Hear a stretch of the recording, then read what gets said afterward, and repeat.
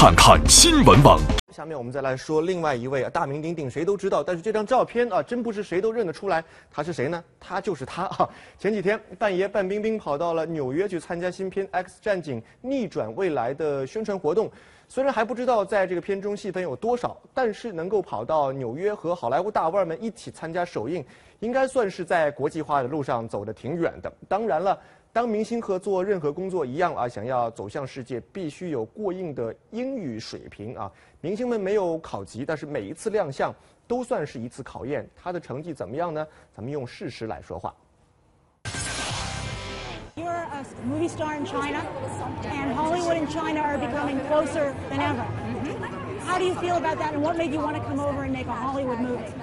Uh, I, I think Hollywood, Hollywood movie is very excellent. I, I really like the actor and actress. 虽然无论是红毯还是拍照，范爷都表现得落落大方，气场强大逼人，但才说一句英语就结巴了两次，这表现是不是有点丢份儿啊？Hollywood, Hollywood movies, Hollywood, Hollywood movies. 近年来，范爷可谓是红遍了大江南北， 甚至有红向大洋彼岸的趋势。只不过这英语问题可不是头一次为难他了。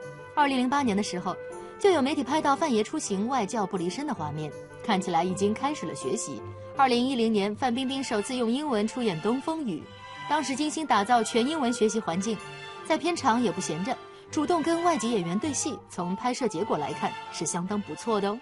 哇，It's so cold. Can I have a cup of coffee? Mm, please help yourself. Thank you. Mm. Maybe I need some sugar. Oh, I'll get some from a neighbor. Don't bother. There's some in my purse. 但您可别忘了，这只是死记硬背的台词，真实的口语水平可就差一截了。Why is the director laughing? Maybe long looks the director. 自强不息的范爷似乎从没停止过努力，在《赵氏孤儿》的片场，即便身上插着匕首倒在血泊当中。他也不忘跟外籍工作人员学两句。扇子，扇子，扇子，扇子，English，fan，fan，嗯，Yep，fan，Yep。尽管如此努力，在参与国际制作的影片登陆之日时，范爷还是吃了外语的亏。 潘冰冰씨하고연기할때는극중에서제가중국말을못알아듣는설정이었기때문에연기하는데아무지장이없었습니다但那也没办法呀，水平就在那儿，只能尽力而为，把一切发言当成台词来背。在二零一一年的戛纳电影节上，范爷的坦诚倒是令人很感动。Good evening, ladies and gentlemen. I'm Fan Bingbing. I come from China.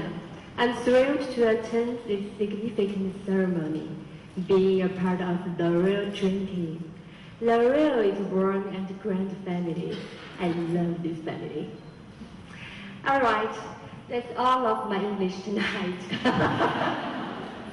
now I want to speak Chinese in Chinese. Well, let me ask you a question. 你看我英文都那么烂，就学了很久，都觉得嗯，这是很很累的一件事情。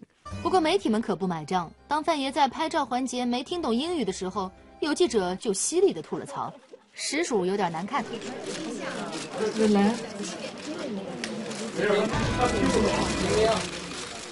不知是不是那一次受到的伤害太深了，范爷好久都没有在人前说过英语。但是在去年的奥斯卡红毯上，范冰冰却被英文记者逮着采访了，这真让人替她捏把汗呀。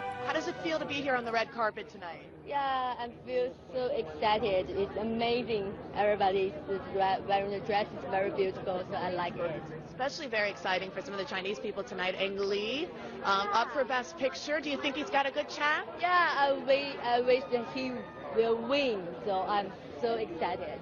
Thank you very much. You look stunning. Thank you. Bye. Thank you very much.